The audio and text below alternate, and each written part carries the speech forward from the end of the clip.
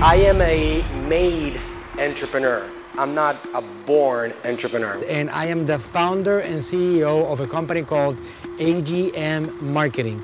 I am a Facebook certified professional, and one of the few official certifications in the Facebook advertising world. So I know what's working, I know the strategies that work, and I know which ones don't work as much as they used to before. Let me tell you a story about myself. I had a miserable young adulthood, and I consider myself to be a loser. I definitely was not interested in school. That was not my thing. And because I was not interested in it, I used to feel that I was a failure myself.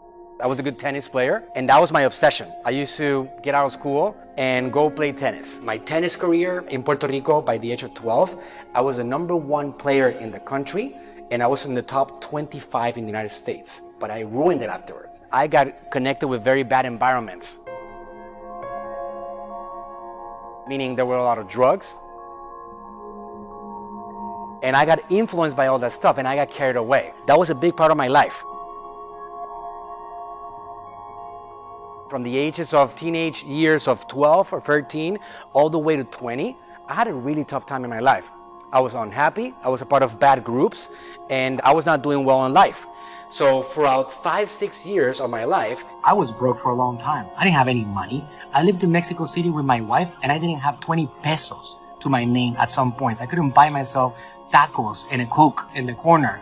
So I know what it is to not have anything.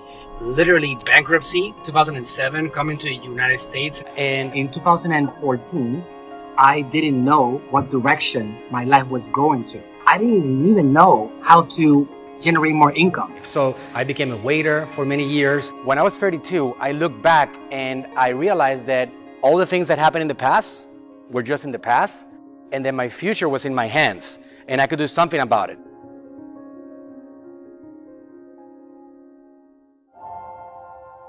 Ever since 2007, I've been trying to find a way, something that I felt passionate about. So the way that I actually started shifting everything that was going on in my life, that I didn't have enough survival, just five years ago, was that I decided to learn obsessively. I decided to learn about what was going on. And I found it in marketing. I guess I was lucky. I guess that I was. Got really lucky because I decided to get really good at, not intentionally, on the subject of advertising and on the subject of social media. I got started by listening to people that I trusted, that I admired, that I respected for years and I learned from them. And by me listening to them, I got to implement some things that I know they were implemented successfully and I saw results myself. I did not expect to get so many realizations and so many uh, overall visions as to our future is that there's always room for improvement. And uh, if you stay connected with the right people, you're going to keep on growing regardless of what you're doing, no matter what, you want to take yourself to the next level and you want to be connected with the right people consistently.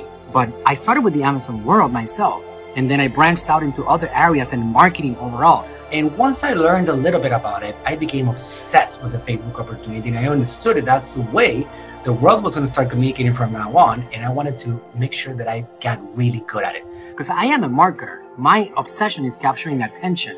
Even though I have a lot of activity, I always force myself to at least 20% of my day be learning something new. Because if I don't, I know that's going to be the end of my expansion. My wife and I have been working hard countless hours, sacrificing vacations, activities, weekends, life with the kids, all kinds of things along the way to have what we have. And in 2016, I created an agency which is called AGM Marketing. I am the founder and the CEO on one of the fastest digital agencies in the United States. And today we generate hundreds of thousands of dollars.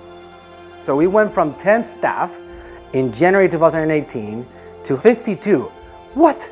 So from 10 human beings working for the company full time to 52 in a matter of 11 months. I'm currently spending over half a million dollars in Facebook advertising. We're doing close to $2 million of monthly revenue through Amazon.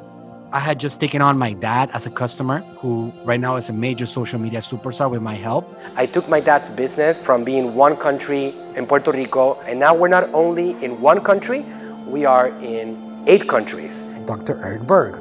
He has a big following. He is the king of the ketogenic diet right now around the world. 500,000 people on Facebook, hundreds of thousands on Instagram, We got a community in Messenger of 600,000. Messenger happens to be a channel that I built from scratch. The number one health and fitness messenger platform on the planet. Not in the US, on the planet. I don't usually brag too much, okay? I built the number one health and fitness channel on the world. I did the copy for it, I built the entire chatbot, I built the systems on it, all of it. A few years ago, I was bankrupt just 12 years ago, and now I'm generating millions. Most people don't understand what it is. They don't understand this world yet. So again, in my end, there's a lot of work to be done. I gotta keep on waking people up. You know what I realized the other day? That's my job, Scott. That's my job. My job is to wake people up.